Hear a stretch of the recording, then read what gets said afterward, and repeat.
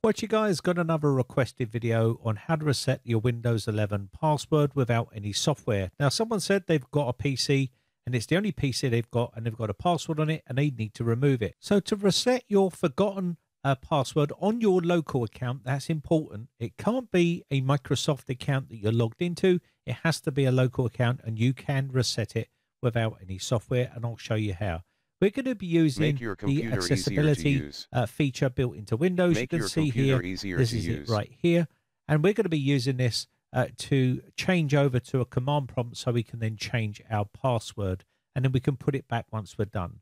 So first off, you need to hold the left shift key down and restart your PC. So hold the left shift key down and click on the power button and click on reset here on the bottom right hand of the screen. You'll see that restarting. During the restart process, continue to hold the uh, left shift key and you should then see the advanced menu options coming up on the screen and you can see here choose an option. So what we want to do here is now go into the troubleshoot area. So click on troubleshoot and then come down to where it says advanced options. Click on this one and then you should now see command prompt. So click on command prompt and you will then see the command prompt box here. Now, first off, what we need to do is determine where our Windows directory is. So first off, let's locate it first. So I'm going to try and put C colon in here and push enter to see whether this is our Windows directory. Now, normally it is in C, but yours could be in D or it could be in any other uh, letter. It sometimes changes, but in this case, I'm going to try C here and then we're going to type dir and then push enter and you can see there is no Windows directory here. So we know it's not in C, so let's try D, D colon and then push dir and you can now see we do have that Windows directory here, which means we're in the right drive letter. So D is my drive letter. So from here, we need to type in our CD space Windows. And this is going to change our directory to our Windows directory. And now we need to change to our System32 directory. So let's go cd space System32, and this will change us to our System32 directory. So now we're in the right location. We can put in our first command, and we're going to be backing up our utilman.exe file. So you can see here, I'm going to rename the utilman.exe to utilman1.exe. This is going to back it up so we can revert back later on push enter on your keyboard uh, to commit. And then what we're going to do is do our next command, which is rename ren space cmd.exe space utilman.exe. So we're basically uh, renaming the cmd.exe to utilman.exe. That's all we're doing. So when we go to that uh, accessibility feature, it's basically going to allow us to enable the command prompt at that screen. So we can close this off now and continue to Windows. So let's close it off and click on continue to Windows. If this feature doesn't work here, you'll need to restart Windows completely, but it did work for me, so it's okay. But if it doesn't, restart your Windows completely until you get back to this screen. So if we look down on the bottom right hand side here where accessibility was, when we click on accessibility, it's going to open up our command prompt instead because we've renamed it and changed it. So what we're going to do here is open up this here and we're going to type in this command here to change our password. So we need to type in here control and then space user passwords 2 and then push enter. So let's go ahead and type this out here. I'll put it up on the screen so you can see it. And then once we type this out and push enter, it's going to open up our account options here so we can reset the password. So once we got this typed out, push enter and you'll see a little box popping up with the user accounts on it. And this is our user account. You need to choose the account that you want to reset the password on. In my case, there's just one and you should see reset password. Now, if this is grayed out, it means that you have a Microsoft account and not a local account. You can only reset the local account this way. So push reset password and you should see there is an area here for putting our new password. Now, you can either put a password in here or I'm going to leave it blank and this will remove the password. We can now click OK and that means the password has been removed. We can close off the command prompt window and then we can continue to Windows. If this doesn't work, you can restart and it will do the same thing. So let's now push this little arrow key here.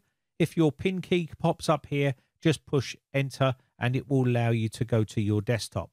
Mine didn't have that feature, so we're now at the desktop and our password has been removed. So once you've got your password removed, you can then go into your settings here and you can reset your passwords and your details inside here if you wish by going into uh, the sign-in options here. So let's go into our accounts here and what we're going to do is let me expand this a little bit here and we're going to sign-in options and you can see here we are running a local account. That's important. You cannot reset a Microsoft account password this way. You have to go to the Microsoft website and change your details there to change the password on a Microsoft account. This is a local account. You can then change your password or your PIN or whatever it is on here once you get to that option there in your sign-in options.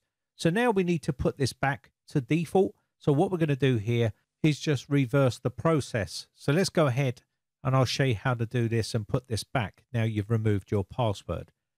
So if you sign off here, you're probably thinking that you'll be able to sign off and use the same feature and be able to reset the default settings here. And you can't do it. So the command prompt box is still here, as you can see. We can't reset this because it's not set to administrator. So we need to go back into our advanced menu options here. So close all this off and then go back and hold your shift key down. And what we're going to do is go back into the advanced options.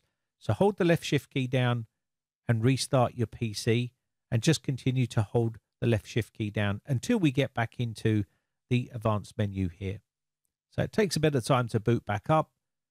And there we go. We're back into choose an option. We're going to go back into troubleshoot here. And we're going to go to advanced options here and then go back down to your command prompt. Click on command prompt. And then from here, we're going to reverse the process. So we need to go to our Windows directory. In this case, we know it's D. So go into D. We're going to check dir to make sure that it is Windows. Yes, it is. So now we can put in our first command to reverse the process. So let's navigate back to System32 by doing CD space Windows and push enter and then CD space System32. And there we are, we're back into System32 here. So let's do our first command here, which is going to be ren space utilman.exe and then space cmd.exe. And then we need to type the next one, which is ren space utilman1.exe space utilman.exe. So all we've done here now is push enter and we've renamed the files exactly the way they were when before we started. So there should be back to default settings. So we can close all of this off now and continue to Windows. Sometimes you can restart the system depending on what you want to do. I'm just going to continue to Windows here. We should get to the sign in screen. There is no password, so it will log straight back in. And if I sign out quickly and quickly show you, the feature has gone back to accessibility here. So that is where it should be. So let me just quickly sign out here and I'll show you. And if we go back here and click on this bit Make here, you can now see to it's use. back to default settings. Make your computer And that's exactly easier where you want to leave it. You might be tempted to leave that as CMD, but just put it back to the way it was because that's what it's intended to do. And this is basically how you can reset or remove your password on Windows 11 without any software. Now, of course, it's always advisable to use software. It's a lot more easier, and there's plenty of them out there. If you want to see one of those videos, then let me know in the comments section below. My name has been Brian from brightechcomputers.co.uk.